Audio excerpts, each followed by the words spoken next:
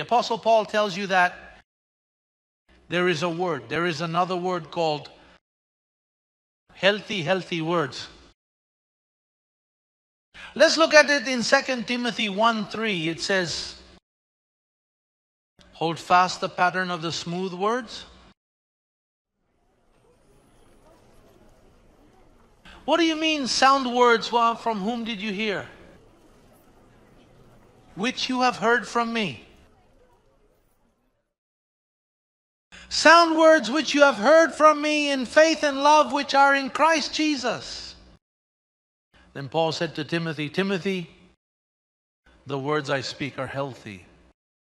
Imagine if Timothy had asked, Are there any words that are not healthy? Paul would have replied, Well, there are smooth words, there are empty words. There is no word that does not form, that does not form Christ in you. There are words, there are other words. It says words that cause envy and division in the church. There are many kinds of words. Not everyone who gets into a pulpit and what they speak has good effects. In fact, the places where they talk about God are the worst places. The most damaging are the pulpits if the word is not healthy. And why does he say, hold fast the pattern of sound words? Because Paul knew that some were not sound, for example. You know that one of the most famous and well known prayers in the Christian environment is the Our Father. But the Lord's Prayer is not healthy words. Because before the cross, Jesus said to them, Look, for now pray like this Our Father who are in heaven, hallowed be your name, come into your kingdom. Deliver us from evil.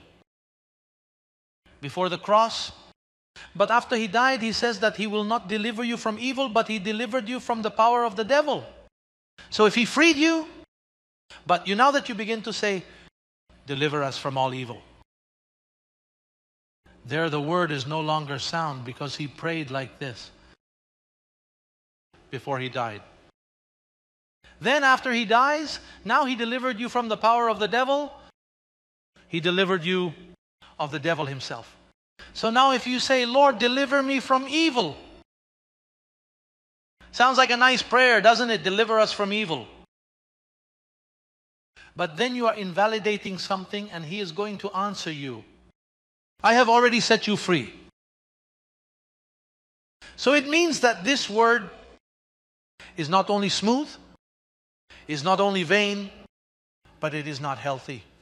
Because it is putting you before the cross when He already died for you.